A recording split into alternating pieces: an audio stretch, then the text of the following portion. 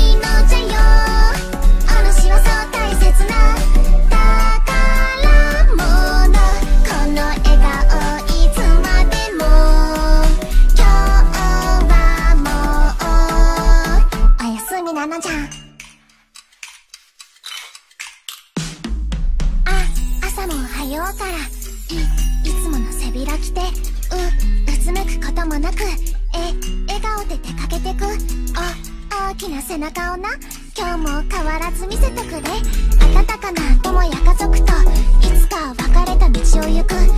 美しき心の出会い。得るほどに寂しくもある。だからお主と生きる。今この時を一